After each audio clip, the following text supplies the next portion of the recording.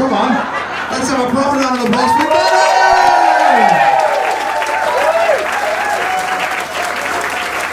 Thanks. Oh, sorry, sorry. Um, before we start, um, I have been asked to make a quick announcement. Um, has anyone got uh, a BMW out in the car park?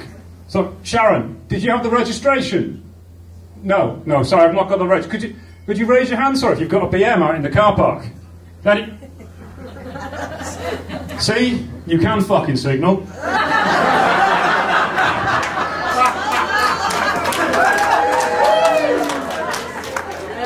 Come we haven't gone all night. The only thing worse, to be honest, the only thing that pisses me off more than people who don't indicate when they're driving is people who use their phones in the cinema. You know? You're sat there watching a film, then every couple of minutes, some absolute twat, a couple of euros in front of you, gets their phone out and starts using it. Now, you all look like considerate people. You all look like you've turned your phones off before this evening began. But call me thorough, I'm going to have to check. I know you're thinking, you're thinking, what's he going to do? Is he going to go through everybody's phones one by one and check they're all turned off? No, no, I'm not going to do that. No, no, no, no. I'm going to do what they should do in the cinema. Rather than play some pissy message about no glowing screens and no talking, they should do this. Hey Siri. Call mum.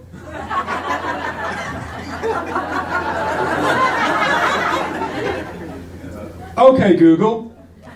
Send a text to Dave. I love you. Send.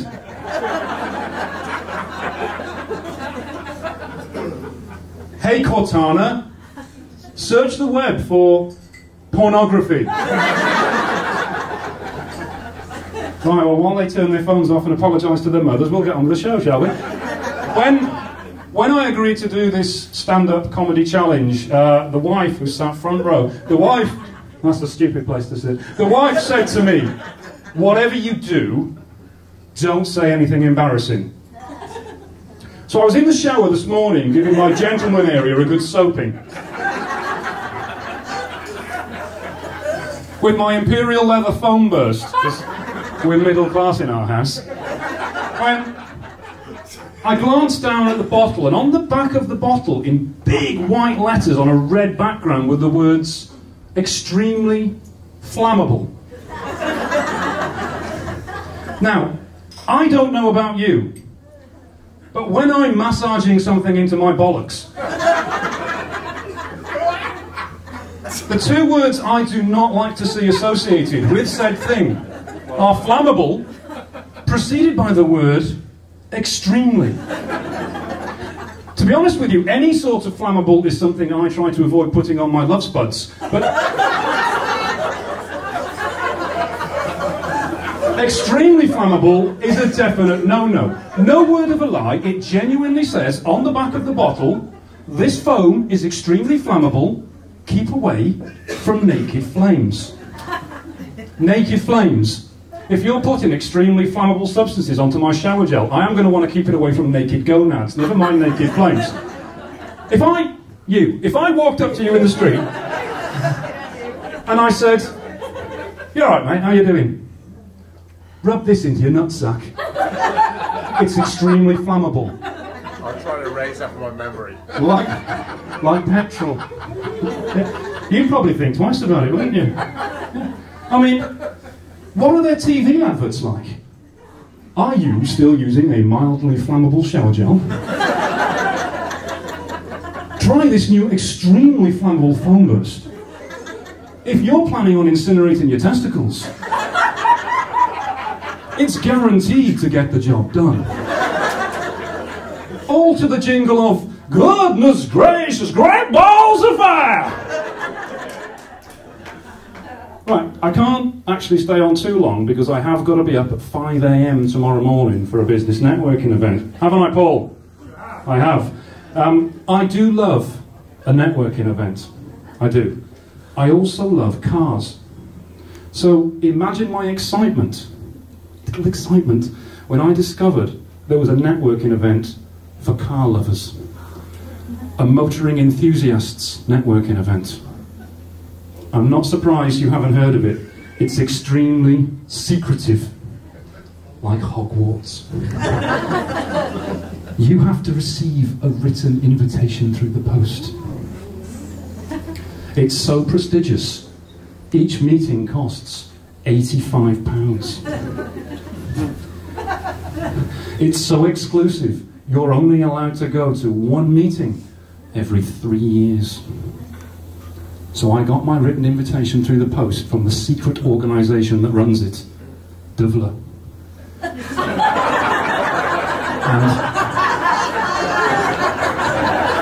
and it said, You have been cordially invited to a motoring enthusiast networking event. I'm paraphrasing slightly. And when I got there, the room was already full of other motoring enthusiasts. They must have really shifted to get there before me because I put my foot down, let me tell you. And we were greeted by what I can only describe as a motoring wizard. And he taught us tricks. Tricks like how to avoid running over children. You BMW drivers won't know anything about those. And tricks like how to avoid getting speeding tickets. The secret is drive slower. I can see actually from the reactions that there's some of my other motoring enthusiast networking group members in the room. And many of you are sat next to muggles who have no idea what I'm talking about. They're looking at you like, what the fuck are you laughing at? This prick hasn't said anything funny yet. Don't worry, my motoring enthusiast brothers and sisters. Your secret is safe with me. I won't say a word about your speed awareness course. Since my uh, speed, since my motoring enthusiasts networking group, I've actually been doing a lot more walking. It's totally coincidental, I assure you. I've been doing a lot more walking, and I've got one of these, uh, an Apple Watch, which tracks my steps. I got it through my health insurance, and it gives me rewards for the more active that I am. Sounds great, doesn't it? Hmm. It's not. It's shit. You see, in order to qualify for the rewards, I have to do a minimum of 7,000 steps every day.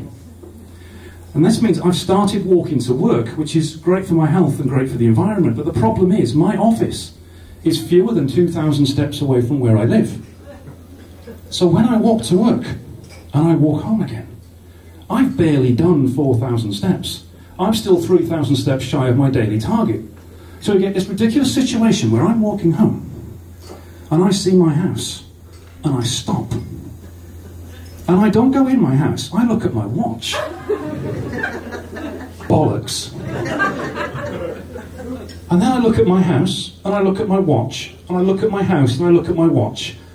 And I turn around and fuck off in the opposite direction. I am aimlessly wandering around Ellesmere Port because this little bastard tells me to do it. I feel like one of those African women on a comic relief fundraising video. Darren has to walk nine kilometres every day. Just to earn a free cinema ticket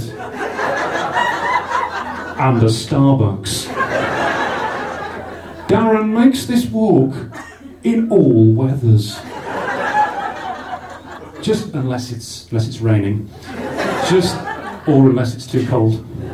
Just or unless it's too hot. Just or unless there's something good on the telly. Just one pound pledged by you will allow Darren to buy his own skinny latte. But the little bastard doesn't leave it there either. It bugs me throughout the day when I'm in work. I'm sat at my desk, typing away, like this. And then I get a little vibration on my wrist. Bzz. Stand up.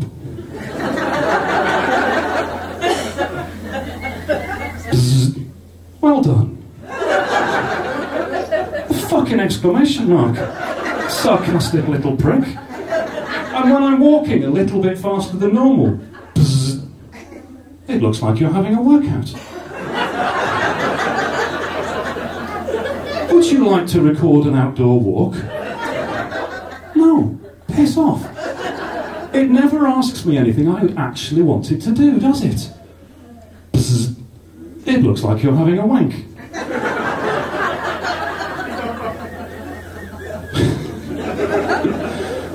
Would you like me to start vibrating on your wrist? Well, that couldn't hurt, could it? It looks like you're drinking a pint. Would you like me to clear your afternoon schedule for a heavy session? Yes, I would. It looks like you're having sex. Would you like me to start a time? No, actually, don't do this. The, the reason I've been. Oh, applause, thank you. you can come again. Um, the reason I've been trying to lose a bit of weight lately, thank you, madam, it is working, is because I'm going on holiday on Saturday to Portugal, which means going on a plane.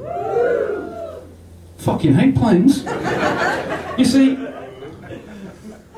the thing that really pisses me off about planes is the other passengers. Especially, especially when the plane lands and the seatbelt light goes out and the door's about to open, and then everybody who can physically fit in the aisle gets in the aisle. Not to get their stuff ready to leave. No, no, no, no, no. They do it to fuck everyone else off. They're messing with their phones. They're checking in on Facebook. They're checking Instagram. They're, they're using Snapchat. They're using WhatsApp. They're texting their mothers. They're checking the weather. They get those little bags of peanuts and stuff them into their holdalls to take them away with them. They're doing everything but getting their stuff ready to get off the plane. So when the door eventually opens, I still have to wait for these monumental wank spanners to get their shit together. But it's okay, I have a plan. I have a plan. It's called Darren's three step plan to getting off the plane quicker. Would you like to hear it? Yes. I'm glad you said that because you'd have really pissed up my ending. Right, Darren's three step plan for getting off the plane quicker. Step one stand up. I know what you're thinking. Doesn't sound like much of a plan. To be honest with you, Daz, it's pretty fucking unimpressive at this stage.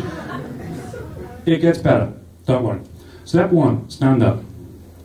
Step two, grab your shit. Don't piss about with Facebook, don't mess about with your phone, don't use Instagram, don't use Snapchat, don't check in on whatever app you might be using, don't text your mother, don't look at the weather, stop stuffing those bags of peanuts into your hold holdall. Grab your shit. Are you ready for step three? This is where the plan really comes together. Right, the door's about to open. Step one, stand up. Step two, grab your shit. Step three, fuck off.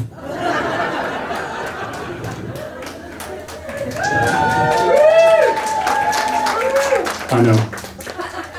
It's genius. I'm going to go through that plan once more, and then you're all going to repeat it with me. Because, yeah, you are.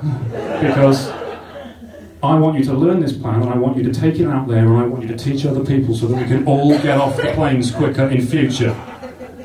Right, are you ready? I'm going to do it once more, then you're all going to do it. I know what you're thinking. There's, there's a couple of youngsters in the audience. They're looking at their parents now, going, Are we? Are we allowed to say this? Kids, don't worry. I had a word with all of your parents before this began, and they've agreed it's okay for you to swear. Right. So I'm going to do once more, then you're all going to follow, okay? So it's step one, stand up. Step two, grab your shit. Step three, fuck off. Right. It's your turn. Step one. Step two. Step three.